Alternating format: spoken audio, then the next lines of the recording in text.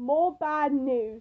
Back in 2021, Samuel E. Wright, an actor who played Sebastian the Crab in the 1989 movie The Little Mermaid, passed away at the age of 74. Let's give him a moment of silence. Thank you. Without being said, he may rest in peace.